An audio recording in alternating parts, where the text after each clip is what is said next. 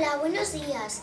Eh, mi equipo y yo os vamos a hablar sobre la comarca de Campo Los Valles. Este es nuestro índice.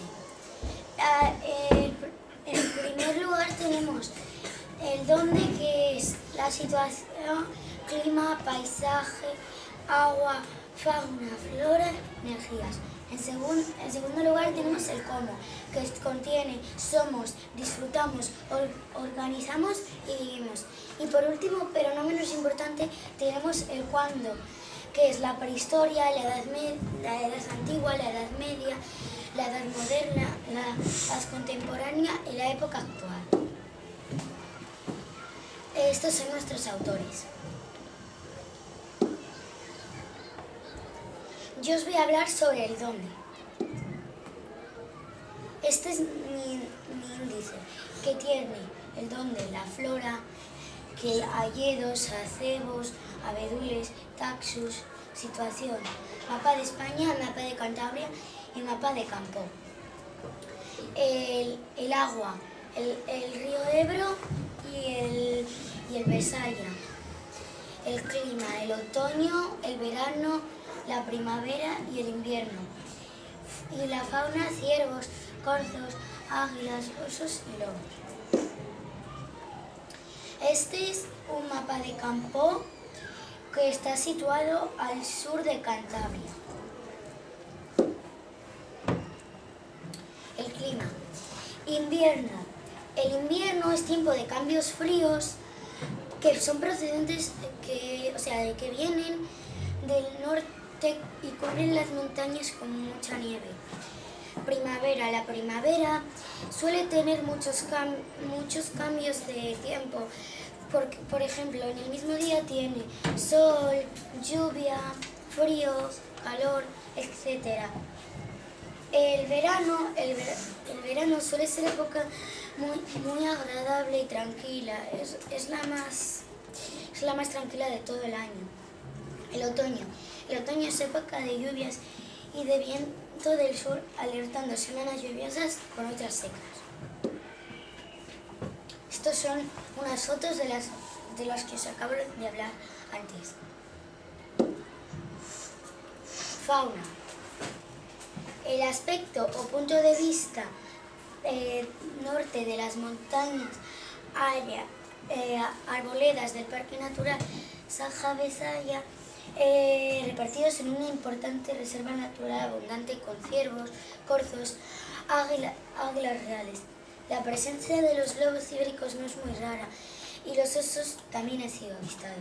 Aquí son las fotos de los, que de los animales que acabo de hablar.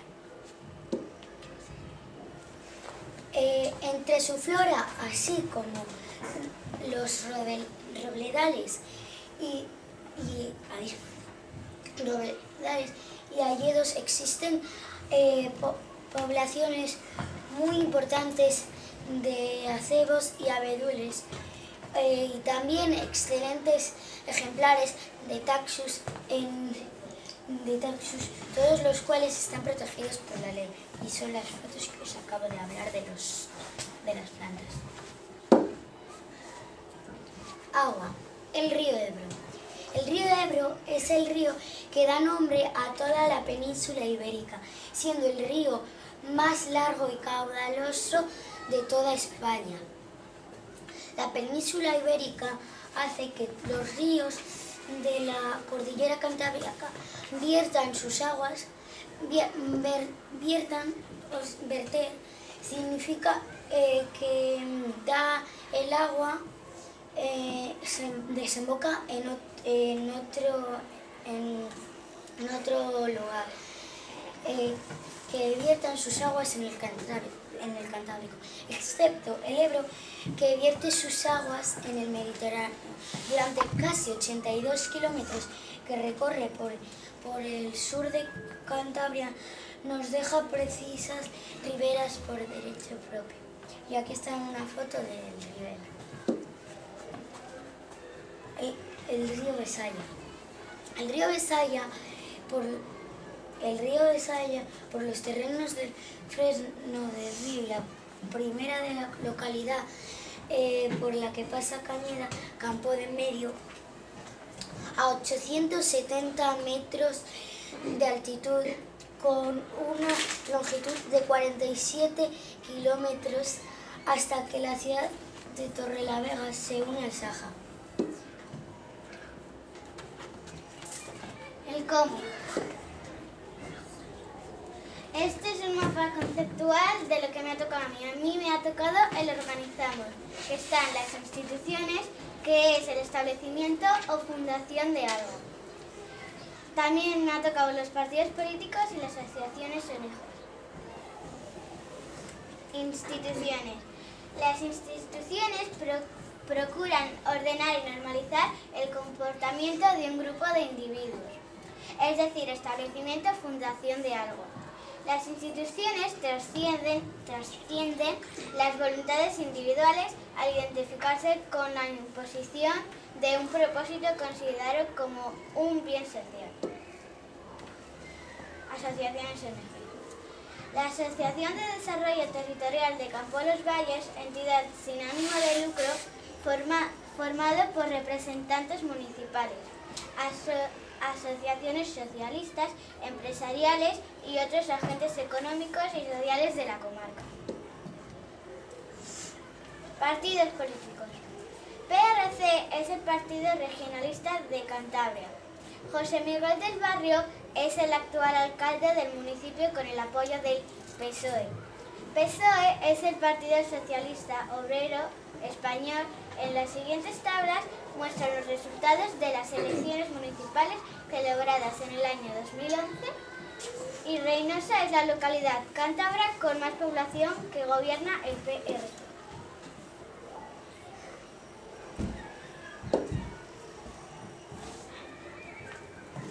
Ahora yo os voy a hablar eh, sobre el vivimos, que tiene el sector primario y dentro del sector primario está la agricultura, la acuicultura, la apicultura, la pesca, la caza, la minería y la ganadería.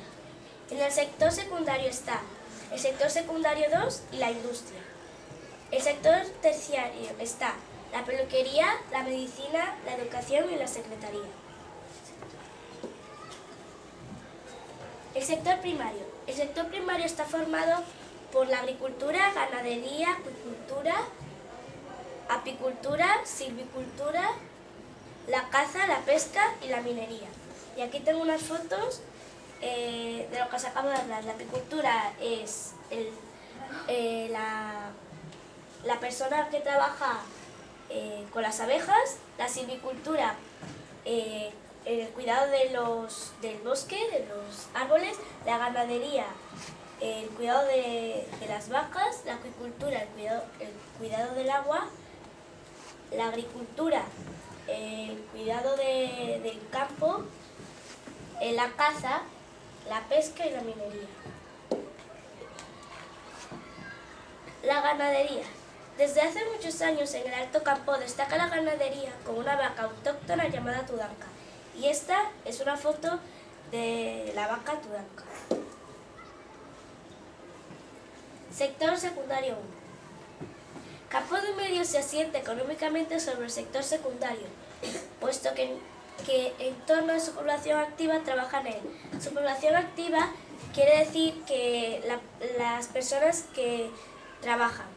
Eh, y aquí primero va en la utilización y el reuso, luego la disposición y el reciclaje, después la extracción de materias primas, después la producción de manufacturas, luego el transporte y ahí vuelve a la utilización. Y así diariamente. El sector secundario. La mayor parte en campo, en campo del porcentaje de los habitantes se dedica a la industria, mientras el resto trabaja en la construcción. Esta es una foto eh, de dos personas trabajando en la industria y esta de dos personas trabajando en la construcción. Sector terciario. El sector terciario supone el 46,3% de la actividad económica del municipio. Ahora las familias cambian parte de su trabajo por el sector terciario, por ejemplo, trabajando en la educación, en secretaría, en medicina, en una peluquería, etc. ¿En qué favorece?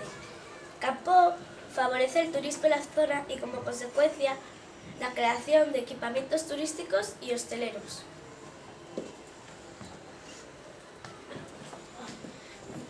Yo, pero yo no he hecho un mapa conceptual, pero os voy a hablar del Vivimos, que tiene la población, eh, los deportes y la cultura. Población. A pesar de la gran ex- extensión de la comarca, de la comarca cuyo territorio es casi el 20% del territorio total de Cantabria, viven en ella más de 20.500 habitan- mi- 20.500 habitantes. Deportes. Los deportes de aventura eh, se, se realizan en el entorno del embalse del Ebro, además de los deportes de invierno que se realizan en la estación del Alto Campo. Cultura. La Casa de la Cultura de San- Sánchez Díaz de Reynosa viene editando en papel desde 1995 la serie de cuadernos de más diversión aspecto de campo.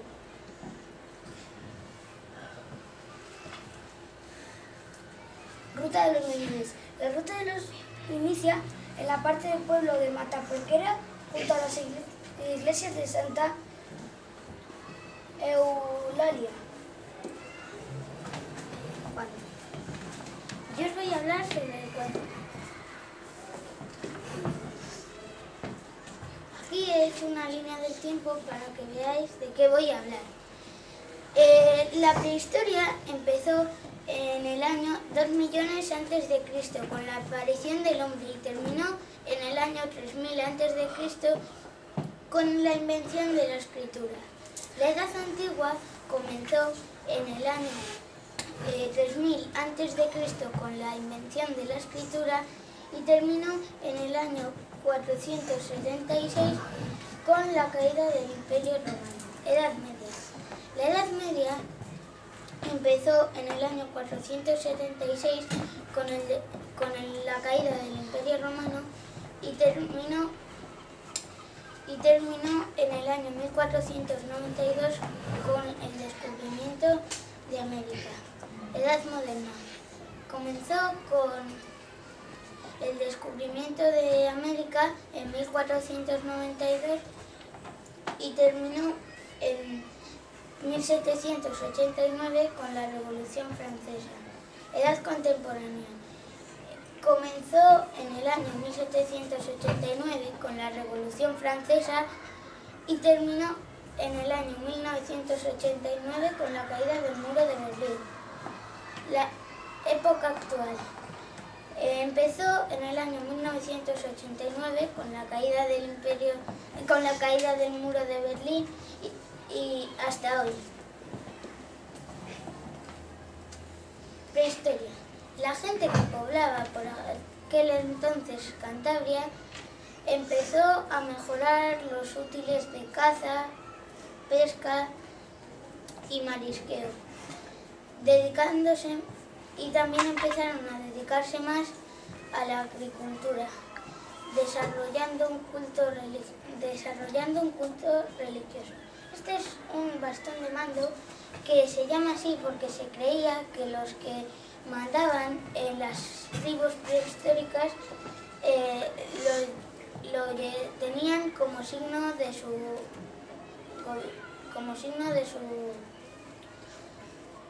de que mandaba, pero se descartó esta idea al encontrarse 16 en una cueva. Edad antigua, Julióbriga. La antigua ciudad de Julióbriga es el asentamiento romano, es uno de los asentamientos romanos más importantes de Cantabria. Fue fundada en el año 15 a.C. para eh, controlar los territorios cántabros que se habían conquistado. Esta es una imagen de Julióbriga. Edad Media. Tras la caída del Imperio Romano, Cantabria recuperó la independencia que tenía en sus orígenes. Serán los visigodos los que introduzcan una cultura nueva para la Edad Media. Colegiata de San Pedro de Cervatos. La Colegiata de San Pedro de Cervatos es la que más destaca en la comarca y dentro del estilo románico una de las más importantes de Cantabria. Fue construida, se cree que fue construida en torno al año 999.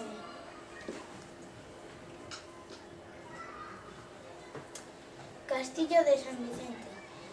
Vigila, vigila al, pueblo desde una, desde una colina con una gran pendiente. Al, al, noroeste de Campo de Suso se encuentra y tiene una vista muy buena del pueblo y sus partes con más follaje. Edad moderna. Desde comienzos de la Edad moderna, la representación de la merindad de campo eh, pertenecía a Palencia. Pero después, eh, en la época de Felipe III, perteneció a Toro, que es un municipio de España, hasta que en 1804 volvió a pertenecer a Palencia. Merindad es un sitio, territorio de alguien que tiene derecho para gobernar. Este es el puente Avenida Carlos III, del que voy a hablar en la siguiente diapositiva. puente Avenida Carlos III. Cantabria está dividida en dos por el río Ebro y este puente se construyó eh, para, para poder cruzar en, época de Carlos III, siglo XVIII. Eh, es un puente de 26,4 metros de largo. Iglesia de San Andrés. La iglesia de San Andrés, de gran valor histórico, fue construida sobre otra iglesia de estilo románico, de, de la que apenas quedan unas pocas vigas. Edad contemporánea.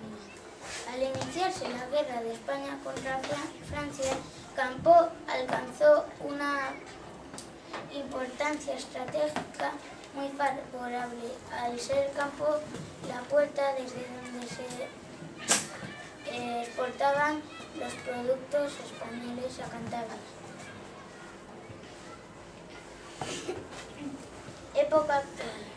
La comarca de Campo Los Valles, de, la comarca de Campo Los Valles podemos destacar el embalse del río Ebro, la, estación de esquí de alta montaña y además Campo Los Valles nos nos da una información histórica muy, muy interesante, ya que tiene muchas iglesias, ermitas, etc.